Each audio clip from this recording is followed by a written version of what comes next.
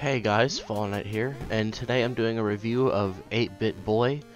Um, sorry for the crappy gameplay in the background. I this was literally like my first 10 minutes of the game or so, and I hadn't played a game like this in a very long time, so I was pretty crap at it.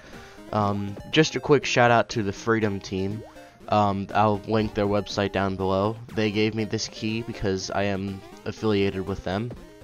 Th they are my network, if you will and uh, they're doing things right now where you can get keys, and as long as you do a review, you get full games for free. And th this this was just one of the games they have. They have a couple other ones. There's like keys for in-game items for um, Path of Exile, I think it is, and then Tanki X.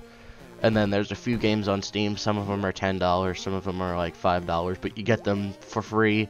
All you have to do is submit a review video, which is what I'm doing right now.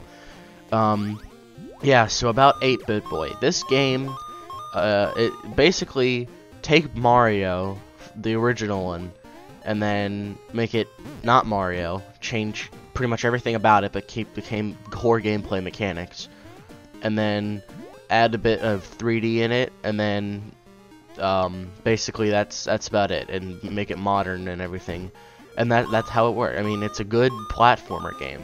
If you're into games like Super Mario Brothers or um, I think what was it, Castlevania, um, you you will like this game.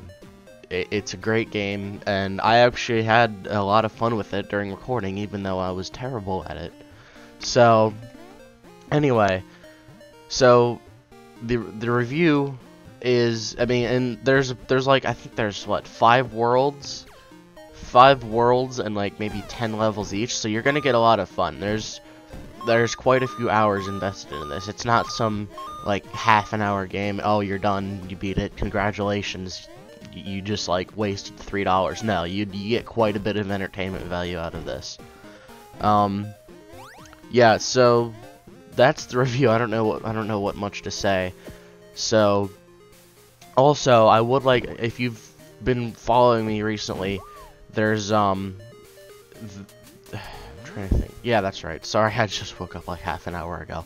Anyway, there's been some new art on the channel. I got channel art and, um... A new profile picture. That wasn't a coincidence. I actually met someone on Steam and we're in talks of having some kind of YouTube clan, I guess he called it. I don't know.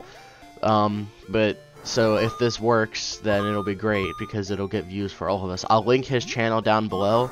He does graphic art. He's a graphic artist as well as a gamer, and he does them on the cheap. And he'll make you one. He made mine in like, he made both my channel art and my profile picture in like 10 minutes. This guy's really talented.